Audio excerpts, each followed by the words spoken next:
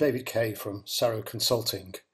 I'd like to tell you about a uh, survey and report sponsored by the library company Innovative Interfaces that was undertaken in 2014-2015 with uh, seven UK uh, higher education institutions uh, with considerable support from their library teams. The uh, report is available for download and some of the supporting data is available uh, also from uh, the Innovative website as noted on this slide. The universities involved were uh, the University of Glasgow, Hull, Keele University, London South Bank University, Queen Margaret's, Queen's Belfast, and also the Wellcome Library. And this work built on an initial survey that prototyped the idea undertaken by the University of Manchester in, uh, in the spring of 2014. The important thing about the report is the volume of response. Uh, we had over 4,000 responses ranging across the uh, community from undergraduates through to tenured uh, faculty uh, across the uh, universities. And of those 4,000 responses, um,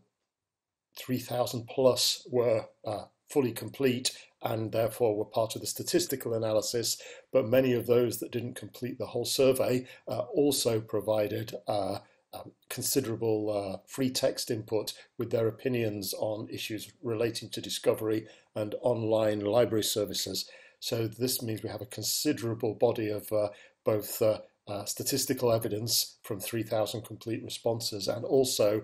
many hundreds, in fact thousands of free text responses from an even wider range of users. Um, the context was set actually by the initial round of the Spotlight project, and this is credited in the report. Um,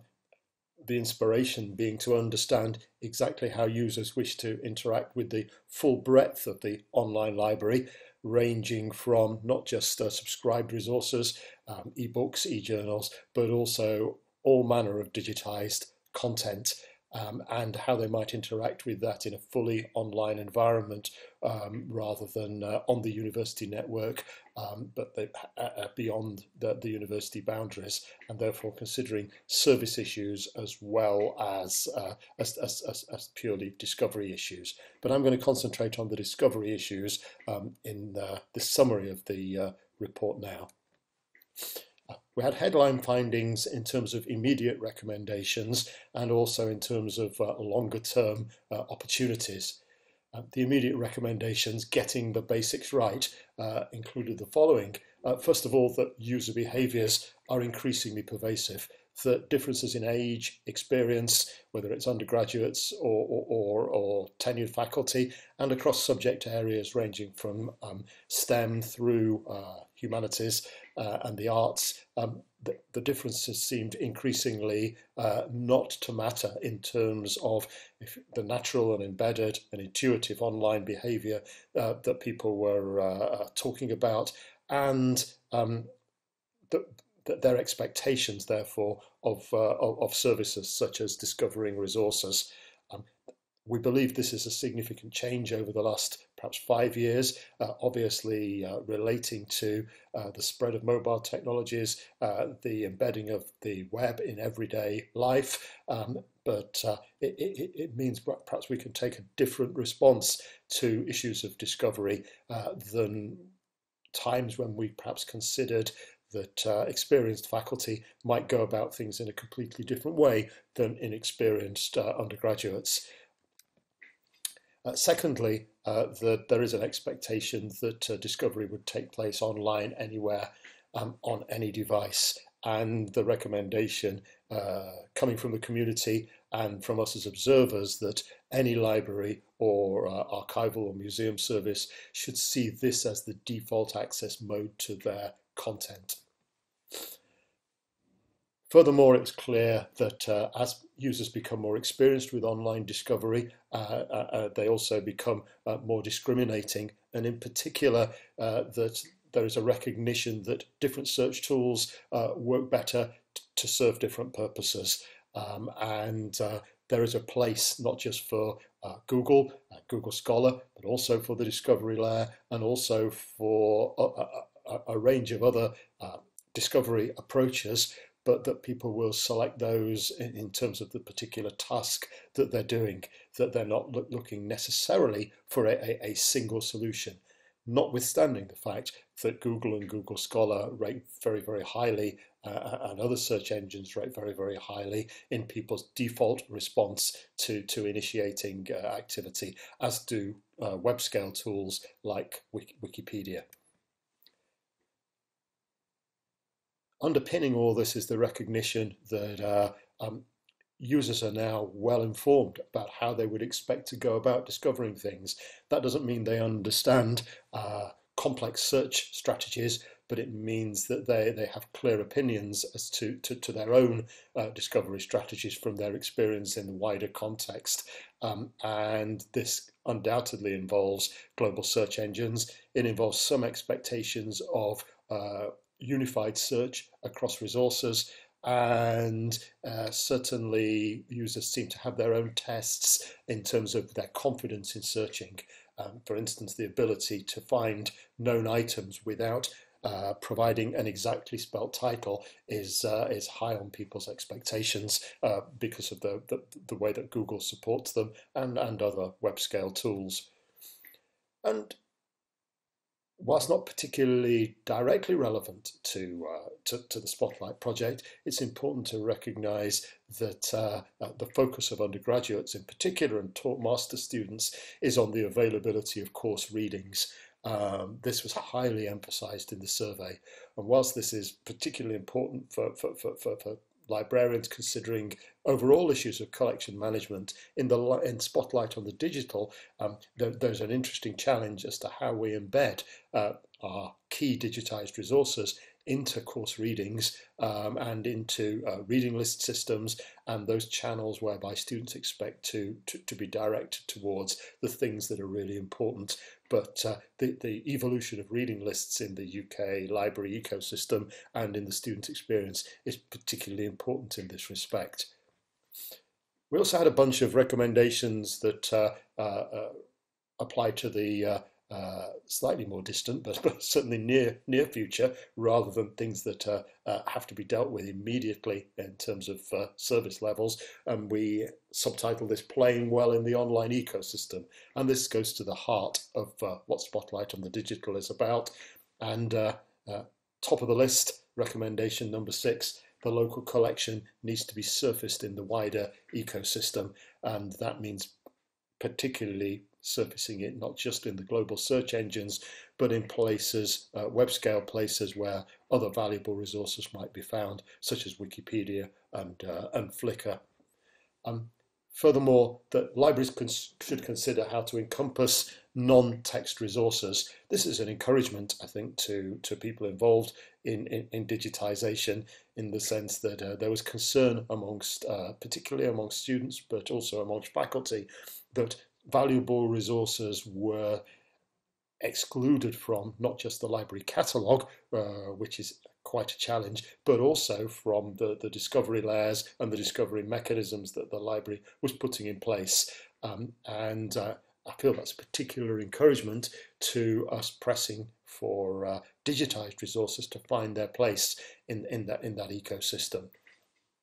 Um, there was also emphasis that electronic resources demand electronic workflows, uh, that, uh, that the, the, discovery of those resources and then the things that you can do around them should be well integrated. Uh, the idea that you might have an electronic resource and then only be able to undertake annotation, only be able to uh, um, collect notes, only be able to share it through physical means, uh, doesn't seem to the direction of travel and therefore considering what other workflows uh, scholars and uh, students in general would want to undertake around a resource in the same way they would undertake them around a physical book and imagining how you could deliver those electronically is really very important. And uh, reference management systems are the tip of that iceberg, but uh, tighter integration of, of, of, work with the resources and sharing of things around uh, the resources in an electronic environment seems to be the uh, thing that's in people's minds. And in, in, in particular, it would appear that users are inspired by their experience of other modern digital services. and how those services ranging from Amazon to the supermarkets uh, and other examples that you would have in mind uh, that are in, in people's everyday lives have increased people's expectations as to the holistic nature of those services and how they might indeed be surfaced through apps as well as through uh, uh, large scale uh, web environments. And lastly, but far from the least, there is a recognition that social is becoming the norm. Um, in the survey, there was clearly a greater emphasis from younger users on what you might do um, in a social environment around uh, uh, course resources, uh, uh, around scholarly resources. And this wasn't just for undergraduates, but, but, but was reflected in the, the postgraduate community. Um, but it wasn't exclusively uh, reflected by young people. And uh, we feel in examining the answers and in examining the um, explanations that people gave, which were considerable in some cases, this is not just um, a younger generation naively approaching scholarship and, and study uh, and looking to use the, the only tools they know in, in a mindless manner, and that uh, therefore we could assume they will grow out of this as they become better scholars and more attuned to the uh, academic environment, to the library environment, uh, but, but rather that uh, there is a certain uh, in, intelligence and intuition where people are, are bringing these things from their everyday lives and can see how they might be meaningfully applied in, in, in the educational environment, in the scholarly environment. So we shouldn't be uh, dismissive of, of, of the uh, undoubted fact that the, the, pressure for uh, building social uh, experiences around scholarly resources is coming from uh, younger people. And we should note that it's not being out, outrightly dismissed uh, by senior academics. I'm going to talk very briefly about the data analysis, uh, which uh, underpins those uh, 10 headline observations. Um, but the most important thing in, in, in, considering this survey is to recognize how it emphasizes the principles uh, that are absolutely central to, to Spotlight on the Digital. Um, you can obviously study this uh, further detail in the report itself, uh, which, which, is free to download, um, and uh, therefore I will uh, just highlight key key elements. Um, first of all, to, to, to, to emphasize that the spread of respondents in terms of subject grouping um, and also in terms of uh, uh, their age groups or levels of experience is if not perfectly representative of the university community, an extremely good representation, bearing in mind uh, that we have 4,000 uh, respondents and 3,000 uh, co fully completed uh, surveys, that the spread is from undergraduate year one right through to uh, tenured academics uh, and good representation of masters, PhDs and, and, and postdocs with some input from, from uh, library stuff and others, but not in any dominant way, and the spread across uh, from arts and humanities uh, through the STEM subjects in categories that we agreed with the uh, seven universities is pleasing and, and sufficiently representative. And therefore, as we look at the survey in detail, and if you study the report, uh, there is breakdown across those categories that allows you to compare and to satisfy yourselves that, uh, that, that, that, where there are differences and where there is where there is consistency. An overall uh, message that came out of the, the survey was was about people you wanting to use the uh, online library, digitized resources, subscribed resources, um, anytime, anywhere, on any device. And this is best summarized by uh, this diagram, which emphasizes that 39% of the respondents um, indicated they wish to use resources and do use resources, not only in the library, not only elsewhere on campus, but also elsewhere in the UK and the world. Um, and you can see from the other segments that uh, those who only use things in the library or only use things in the library and on campus uh, are, are, very small, more, small proportions. Um, clearly, we don't have a, a, very large number of purely distance learners in this. Only 2.5% only uh, access things from uh, elsewhere in the UK or the world, but uh, the 39% is extremely significant and predicted to be a rising number uh, from the text responses that we had. Um, there's a recognition that of the uh, of, of the tools that are available within the uh, within the university um, and, and, and made available through the library and through learning services, that, that, that there are some strong preferences. That, that library search is certainly not not, not, not, not dismissed in favour of, of, of Google, uh, though we go back to the horses and courses argument. But what is clear is some of the more esoteric or some of the more specialised or um, um, discovery mechanisms are not well known and are not widely used. So, for instance, union catalogues um, such as Copac or Salsa or, or Suncat, we noted that 50% or just over 50% of the respondents were not even familiar with what they were. And uh, of those that were familiar, the uh, in terms of this heat map, you can see straight away that, that, that the recognition of the, uh, that the value of those things in discovery is much lower uh, than uh, than the the uh, general library search, um, and that obviously uh, there's high recognition of the value of Wikipedia and high recognition of the value of other popular other popular websites. Google gets played down in this survey in a way that we, to start with, couldn't explain until we realised we should probably have also asked about Google Scholar. Uh, we've since conducted another piece of research that indicates that uh, this scoring for Google would have been higher if we put Google and Google Scholar. Um, so uh, we, we have a slight anomaly perhaps in terms of this heat map in this particular area and uh, we wouldn't want anybody to go away thinking that uh, therefore this whole argument that global search engines are important is, is not true and that we should concentrate for instance on Wikipedia instead. Um, it's a both and and this is, uh, is not necessarily we believe a representative score. Um, Interestingly, we, in terms of the horses for courses argument, we noted that uh, um, users uh, have different purposes, as illustrated uh, with, in, in, the columns here, ranging from finding known items to more serendipitous activity. Um, and um,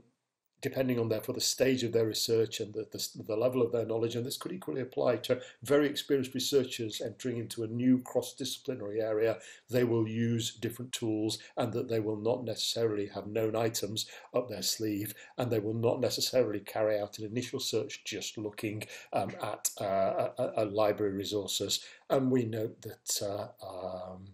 the uh, uh in the wider context, uh, Google, Wikipedia play very strongly into some of these uh, these activities. Um, we've since conducted a, a survey that uh, indicates that uh, that indicates that librarians perhaps have a stronger view of the uses of, uh, for instance, such as uh, aggregated databases, union catalogs, um, and that they um, have perhaps a much higher view of the use of uh, discovery uh, layers. Subsequently, we've conducted a further survey of librarians in the summer of uh, 2015 to see whether their view of their user discovery behaviors matches with, uh, with, with, with, that of those uh, respondents to the survey we're discussing and they share many of the common views. Perhaps the only real exception is that they have perhaps greater confidence in the use of the uh, discovery layer um, than uh, was exhibited in the, uh, the, the, user survey responses. Uh, they have a similar view with the exception of the particular use of, uh, of Copac for uh, locating and accessing known items, similar view of the use of, of aggregated uh, union catalogues, library specialist aggregator catalogues, even to the extent of uh, a low uh, usage of, uh, of, of, WorldCat. Um, and um, in this survey, we did ask specifically about Google Scholar. And uh, going back to the comment I made about the shortcoming in the previous survey, you'll notice their view of the high level of use of Google Scholar. Um, couple of final areas to look at in terms of looking beyond discovery to uh, what people want to do with the resources they access. And I think this is important for Spotlight in informing not only how we construct our discovery services, but uh, how they integrate with wider things and what those services allow people to do in terms of added value. So you'll notice the uh, in the heat map uh, an emphasis uh, um, uh, strongly on download, but also um, interest in bookmarking, interest in reference and citation, and interest in uh, copying and reusing the content. Uh, and whilst awareness of licensing issues is not as strong as you might uh, hope, um, these four things, the, the, items identified in green on the heat map, do give us some kind of steer as to uh, if we're going to provide an effective discovery environment, what that, that enables people to do. Uh, less approval in these questions, um, and remember this is phrased as need to do rather than want to do, less emphasis on, on, on, uh, on more extended features and those that involve social interaction, rating, reviewing, uh, discussing uh, and recommendations and the use of social, uh, social media. Uh, but as we can see in the um, subsequent questions we, we, we asked, um, where we asked people about their, their ambitions, there's a strong uh, interest, especially amongst the, the, the, the, the, the younger demographic, uh, but going right through to uh, postdocs uh, in introducing uh, value-added features such as rating, reviewing, annotation, but also social features. Um, the other thing we asked users about was what would make content easier to use and again, there's a number of uh, indicators here as to what, how we should be exposing digitized content. Um, the one-stop search, more unified search, exposing it in the places people go rather than assuming people will go to lots of places for the same, uh, same purpose, uh, that, that, that, they actually want to go to one place for a particular purpose, such as a known title search or such as serendipitous discovery. Um, but also uh, interest in saving searches, um, in saving search results, um, and um, uh, linking uh, uh things to uh, other services such as core readings, and particularly an emphasis on the persistence of, of, of URLs um, and the quality of, of, uh, of, of viewers, that all these things really make a difference uh, to discoverability or to the value of that discovery once you've made it and your ability to persistently access it and work with, with that content. Uh, and again, we note that uh, uh these things ripple across the demographic, uh, albeit varying interests in varying things, there are no dramatic differences on, on, on, the scales of, on the scales of, of interest. Very lastly, we took the liberty of asking people a number of open-ended questions, uh, three or four open-ended questions about uh, their uh, hopes for their library, the, the, the, services they would like to see enhanced, the content that they would like to see uh, brought forward, um, and in particular a question on, uh, uh, on them expressing what their ideal online library might be like in the year 2020. And we invited people, Twitter style, to give us a 140 character um, summary of that. Obviously, uh, uh, predictably, many respondents chose to write more, uh, but it says something about the enthusiasm of the, uh, the people involved that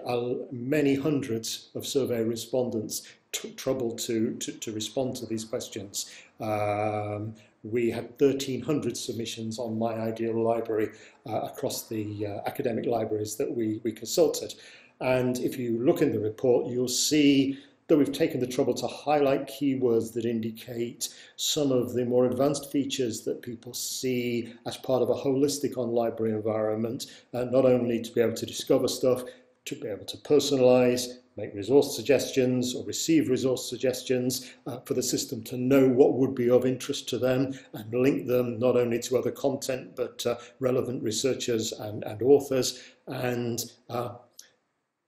in overall to enable people to act as contributors, whether that's in rating reviews, recommendations, or in, in social, uh, social dialogue. Um, and perhaps the thing that highlights the spirit of this more than any of the other statements and is mercifully brief is in 2020, my ideal online library would be a teacher, a guide, an active force rather than a tool. And what it means when people say a teacher, a guide, and an active resource, uh, an active force, is very much emphasised in, in, in the highlighted sections of the top responses. And by top responses, we had librarians say which of these uh, are, are the most compelling arguments of the 1300 we received. And in the full report, there are around 30 that are, that are highlighted in this way. So in conclusion, I hope that this uh, run through what is a unique and, uh, and probably quite important piece of work undertaken by the seven libraries involved. Um, uh, I hope you are able to, to see how this might shape our response to the uh, discoverability of, of digitized content, whether that be born digital content or whether that be uh, uh newly digitized uh, content, um, and that uh, um, perhaps